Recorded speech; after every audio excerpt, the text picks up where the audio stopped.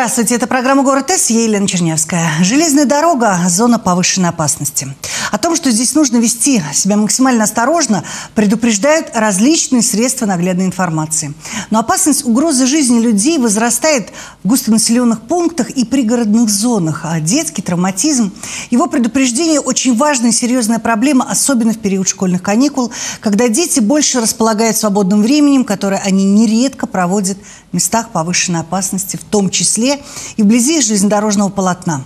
Можно ли бороться с подростковым травматизмом на железной дороге, обсудим сегодня в студии программы «Город С». И какие последствия это может с собой привлечь, я узнаю у моих гостей в студии.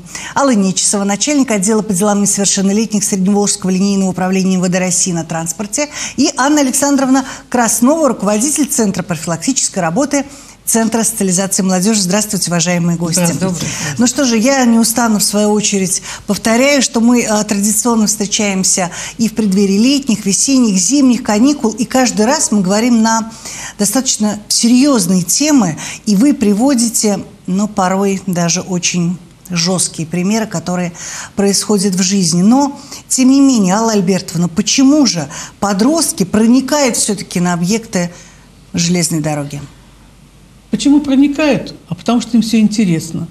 Им хочется как где-то проявить себя, а, где-то удовлетворить свой интерес. И вообще масса свободного времени, и порой оно ничем не занято.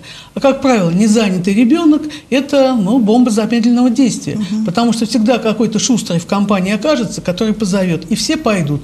Почему? Потому что стадные чувства. Все пошли, и я пошел. Хотя дома мама сто раз сказали с папой, что ходить туда нельзя. И он, ребенок кивал и говорил, не-не-не, я не пойду. Вот все пошли, а я подумал, но пошел. И железная дорога, вы правильно сказали, зона повышенной опасности. У нас так исторически сложилось, что железная дорога проходит через весь город. От одного конца и до другого конца города. И вокруг железной дороги и новые микрорайоны, и учебные заведения, и средние, и школы. А, поэтому ну, надо очень внимательно быть. Вот сейчас начинается лето. Мы в этом году решили особое внимание уделить школьным лагерям, пришкольным угу. лагерям. Потому что основная масса детей будет отдыхать там июнь-июль месяц. Так они-то будут заняты как раз, Алла Альбертовна. А вот посмотрите, они же туда пойдут, в эти школы. И не каждый ребенок пойдет в свою школу, потому что на ремонт закрывается. Многие пойдут в соседние школы. Так. Потому что родители молодцы, они стараются занять досуг своих детей. И вот дети пошли.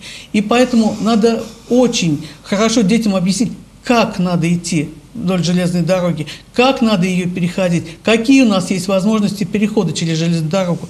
И вот озаботившись этой темой, мы с ребятами из 134-й школы, это железнодорожный район, кстати, у них зауч по воспитательной работе э, такая замечательная, ну, просто Раиса Чулпановна молодец. Она сказала, хорошо, давайте мы вместе все снимем ролик о том, как надо идти в школьный лагерь и что при этом надо делать, на что обратить внимание. знаете, мы сняли этот ролик. Там дети первый, второй класс. Не судите строго, но они играют как настоящие профессиональные артисты. Да, как надо перейти через железную дорогу и подземный, и надземный переход, и по мосту как надо. Все они детям рассказали. То есть была акция «Дети детям».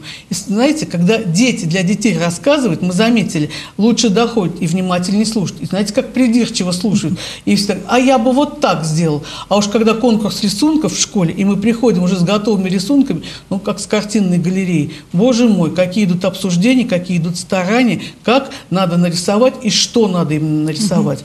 И вот у нас в этом году году книжки, раскраски для детей. Там стихи. Стихи именно для тех детей, кто в школьных лагерях. Ну, и, что греха таить, там в основном с первый по четвертый класс, редко когда пятый. То есть дети маленькие, возраст такой шебутной, когда вот действительно хочется поиграть и забудут обо всем. Э, железнодорожники сделали книжку одна страница осталась свободной. То есть прямо в этой книжке мы будем рисовать с ними иллюстрацию.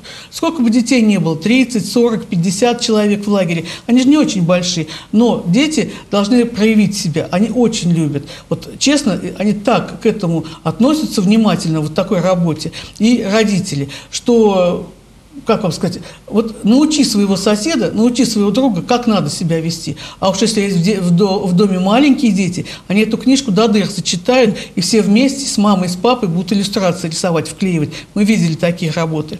Ну и еще что мы сделали в этом году? Возобновил работу наш кукольный театр «Маскарад». Два года мы молчали из-за пандемии. Вы знаете, хороший интерактивный спектакль. Он вообще не только о железной дороге, там часть половина его. А половина идет вообще о детской безопасности. Это и правила трех нет. Не открывай дверь незнакомцу, не садись в чужую машину, не разговаривай с чужим человеком. Как себя надо вести, куда бежать, кому обратиться, а, как надо перейти дорогу. И там в конце концов а, бабушка с тремя поросятами едут к Умке на день рождения, к медвежонку Умке, на поезде. И вот тут уже идет, как на вокзал пришли, что надо делать, как сели. То есть действительно детям интересно. И там, понимаете как, дети сами включаются в игру этого спектакля, они начинают подсказывать, они кричат «нет, не надо». И, знаете, искренне так они, потому что они маленькие, они в это верят во все. Вот им, идет это действие, и они верят, свято верят, что вот сейчас вот именно так надо поступить mm-hmm. и помочь этим поросятам. А уж сколько там героев, там и весь Мадагаскар присутствует, и жираф, и конь, и кого там только не, даже почтальон Печкин.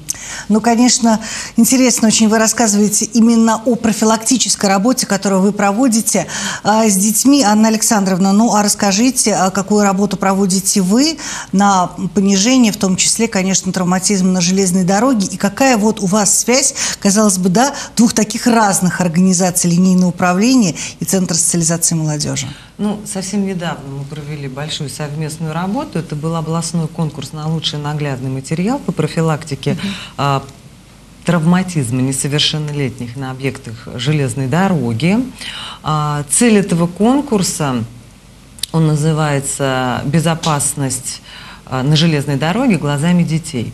Цель этого конкурса – привлечение внимания к проблеме подросткового травматизма и формирование модели правильного поведения на объектах железной дороги. Так вот, а, в этом конкурсе поучаствовали у нас а, дети со всей Самарской области в четырех возрастных а, категориях. Это дошкольники, обучающиеся начальной школы, основной школы, а также старшеклассники и студенты средних профессиональных образовательных организаций. А, всего было 222 работы. Победители уже определены. И э, что хотелось бы отметить, что при проведении таких конкурсов, помимо того, что дети усваивают какой-то полезный материал, да, как себя правильно вести на объектах железной дороги, еще очень хорошо и широко раскрывается их творческий угу, потенциал, потенциал. Поэтому в самое ближайшее время, то есть в июне, как раз в период работы э, пришкольных э, дневных э, лагерей. лагерей, мы проведем еще один конкурс, а, конкурс рисунков а, «Безопасное лето на железной дороге». А, и там будут две возрастные категории, у нас дошкольники и обучающиеся начальных классов. Спасибо. Алла Альбертовна, ну вот проводите вы профилактическую работу, а скажите, пожалуйста, результаты ведь должны быть видны в действии, в статистике в том числе. Приведите, пожалуйста, цифры за последнее время рост или уменьшение статистики. Знаете, я человек суеверный, наверное, как все люди, которые работают с детьми, когда что-то сопряжено с опасностью, я постучу по дверям и скажу, у нас не было несчастных случаев в этом году. И в том году был один. Мы стараемся. Для нас это самое главное. Вот вы знаете, мне нравится отношение нашего руководства к этому, как сказал наш начальник, чтобы я не слышал, а, какие-то дети едут. Красный, строкой. Едут дети. И это самое главное. Это на самом деле так.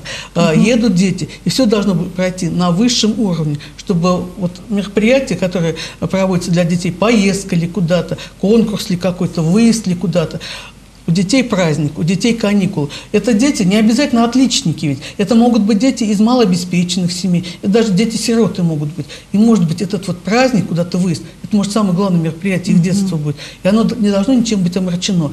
Все должно быть красиво, весело, интересно и безопасно.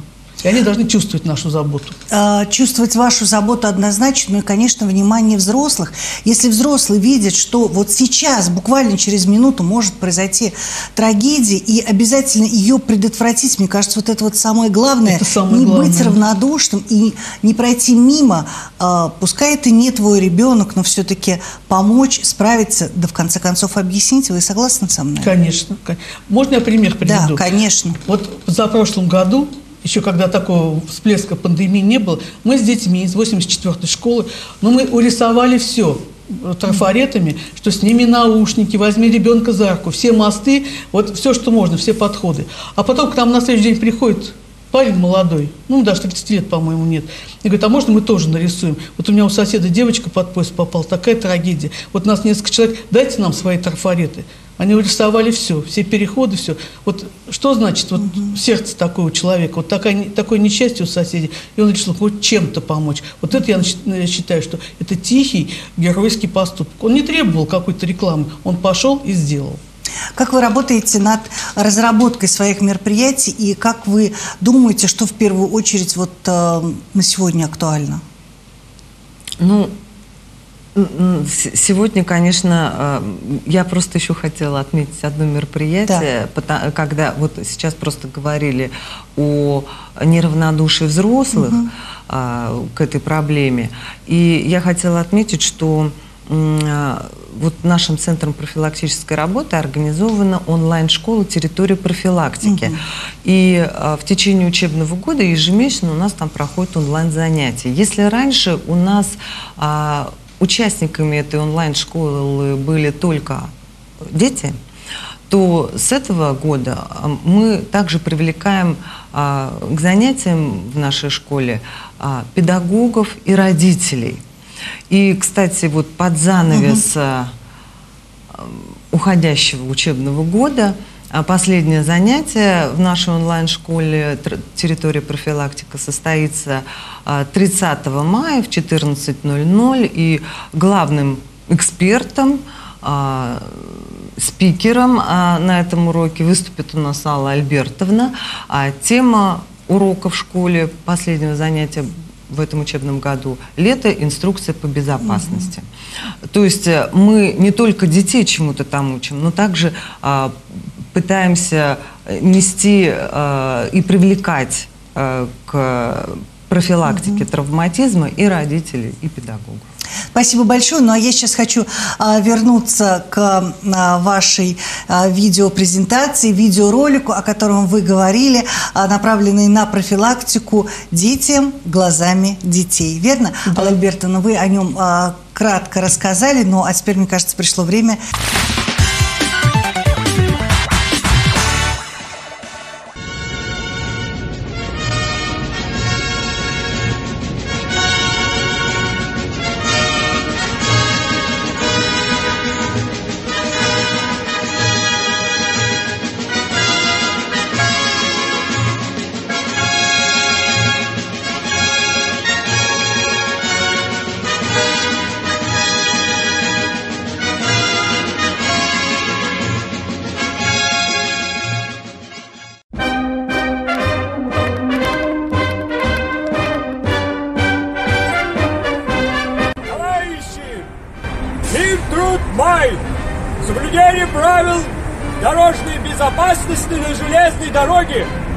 архи нужно и архи важная задача на сегодняшний момент.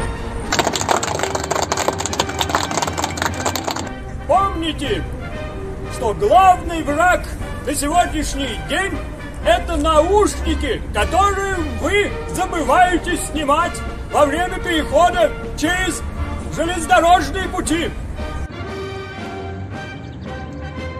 Обязательно нужно снимать капюшоны. Обязательно нужно смотреть по сторонам. Нет ли где в бой приближающегося поезда? Помните, жизнь ваша напрямую зависит от вашей внимательности. Запомните, товарищи, переходить железнодорожные пути нужно в отведенных положенных местах. Вот ты, товарищ, поняла?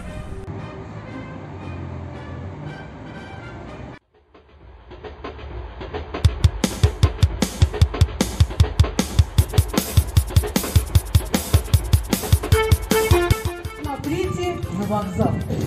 Здесь большой красивый зал. Здесь часы висят у входа. И полным-полно народа. Все торопятся, бегут, вещи разные несут и садятся в поезда, чтобы уехать кто куда. Чтобы вы не потерялись, без присмотра не остались, Взрослых за руку держите и от них не отходите.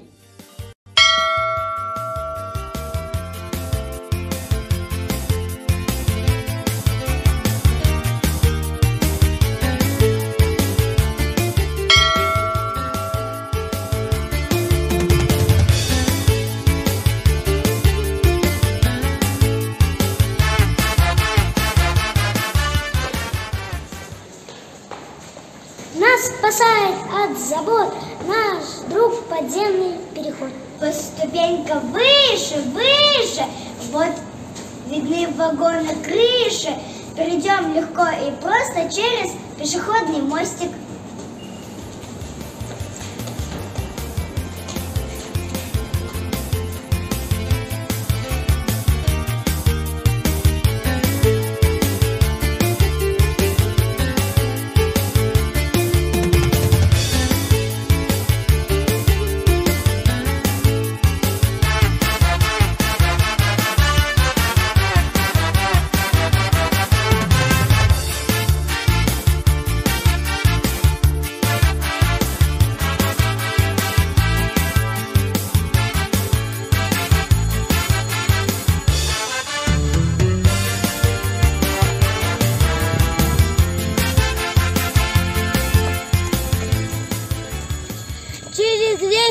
Рельсы нас ведет пешеходный переход. Ну поэтому народ здесь уверенно идет.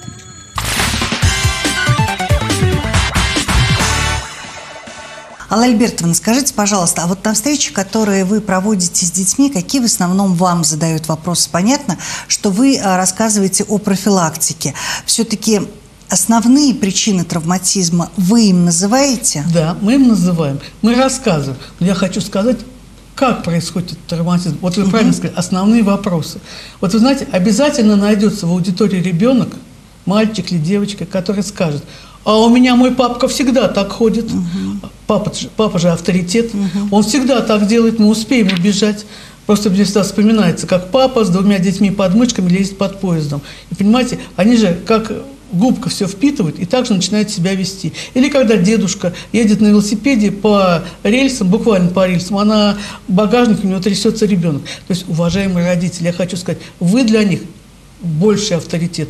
Мы, что бы мы ни сказали, мы чужие люди, хоть и в погонах, а вот папа с мамой, какие бы они ни были, они авторитет. Поэтому все зависит от вас, от родителей. Как до детей это дойдет все. И поэтому, вот правильно сказал коллега, что вот мы приходим, особенно на родительские, на родительские собрания, некоторые родители, ой, пришли, сейчас будут что-то говорить, а потом-то начинают слушать, а потом-то начинают ужасаться, а потом, когда показываем ролики, они чешут затылок и говорят, слушайте, действительно ведь так.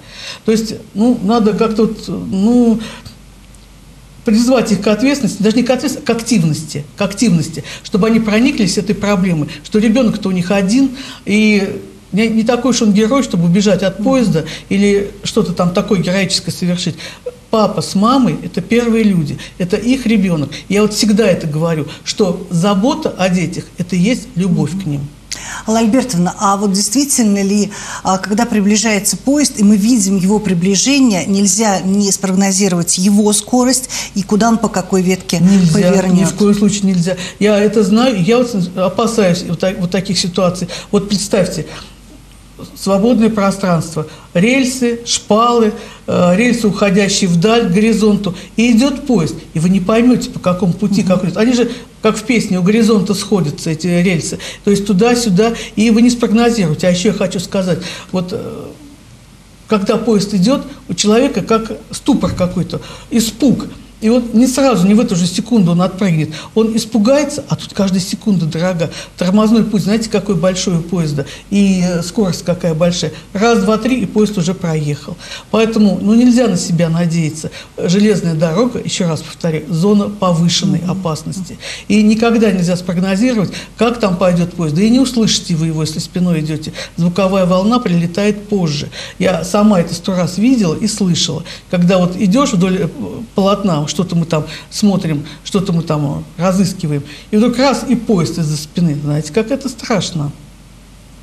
Ну что же, давайте еще, а, Анна Александровна, поговорим о мероприятии, которые вы а, проводите совместно, конечно. А может быть, есть какие-то ближайшие планы, что стоит у вас в графике, и вот над чем буквально будете в ближайшее время трудиться? Ну, в самое ближайшее время у нас лето, летние каникулы, mm-hmm. соответственно, вот наш Центр профилактической работы организует и проводит профильную смену для несовершеннолетних mm-hmm. обучающихся, для волонтеров в области профилактики. У нас еще такое есть направление, где мы обучаем волонтеров, то есть детей, дети-дети, да, мы об этом сейчас говорим, которые вот э, также э, транслируют свой опыт на территории своих образовательных организаций. Эта смена у нас пройдет в июле а, в детском оздоровительно-образовательном центре «Жигули».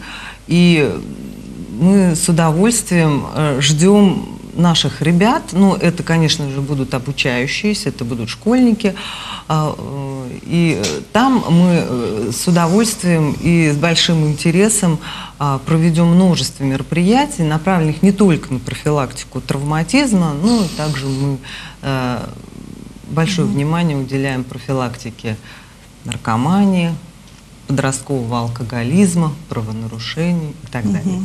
Ну, а, Алла Альбертовна, я хотела бы вернуться вот а, еще немного к родителям. Вы совершенно верно сказали, что родитель – это в первую очередь пример для подражания и поведения не только на железной дороге, а также на водных объектах, на автомобильных дорогах. Сейчас приближается лето. Это самокаты, это велосипеды, да, да, это да, посещение да. водоемов.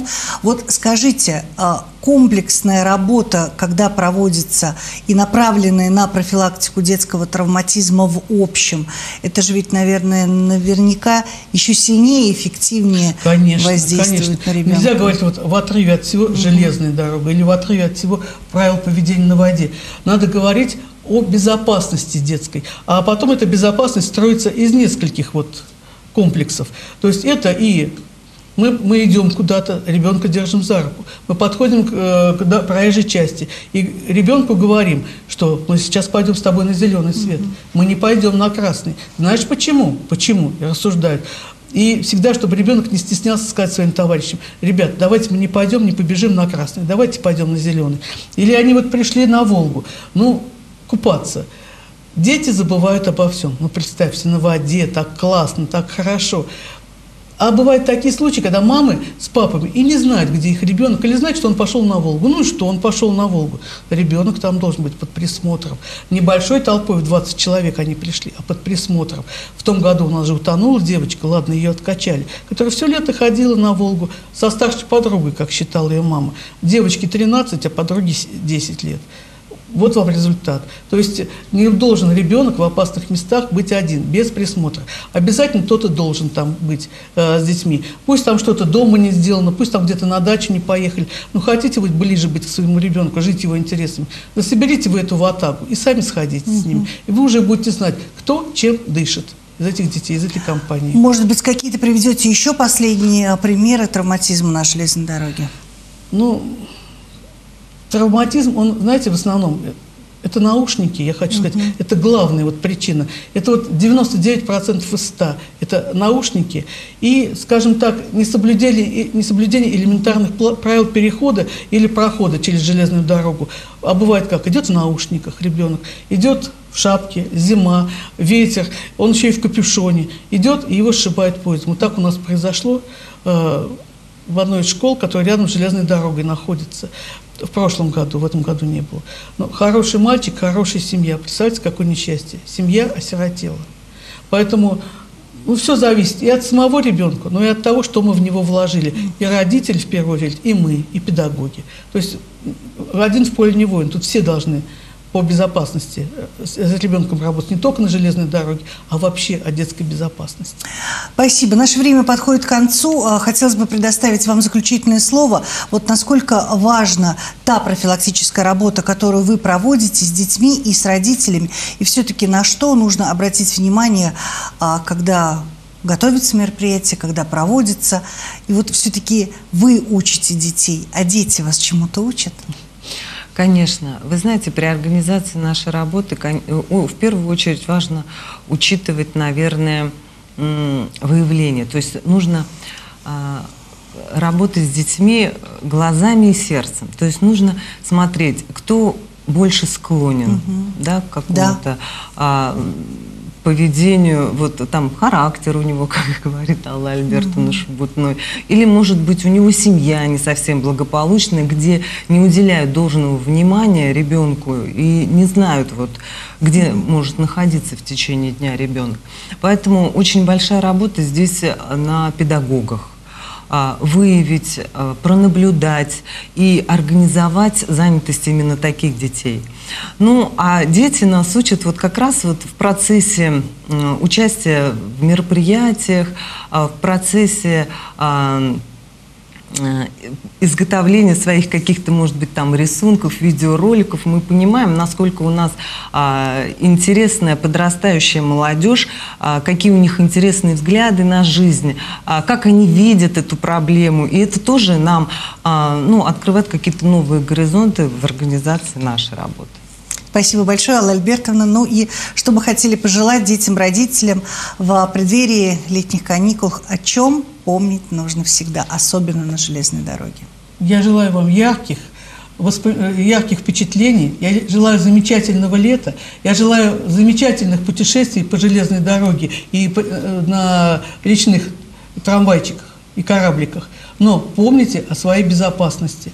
Безопасность, дети и родители, в ваших руках. Родители, будьте бдительны и внимательны, дети, будьте послушны. Да, и опять же, вот вы совершенно верно отметили, что скоро начнутся выпускные.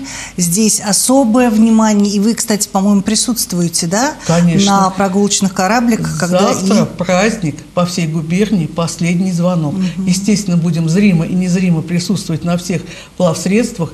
Сейчас у нас бурная подготовка к этому идет, вот прямо вот сейчас, в данный момент. Угу. То есть мы смотрим и лицензии на перевозку пассажиров, мы смотрим и наличие спасательных средств, и беседуем с капитанами, которые, в свою очередь, должны показать все детям и рассказать, где находятся спасательные жилеты, как им пользоваться. Ну и хочу напомнить традиционно взрослым, не только родителям и педагогам, всем, это детский праздник, детский, и там не должно литься рекой спиртное.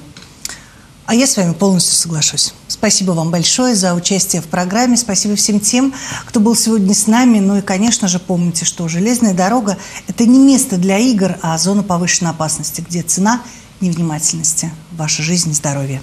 Всего хорошего. До свидания.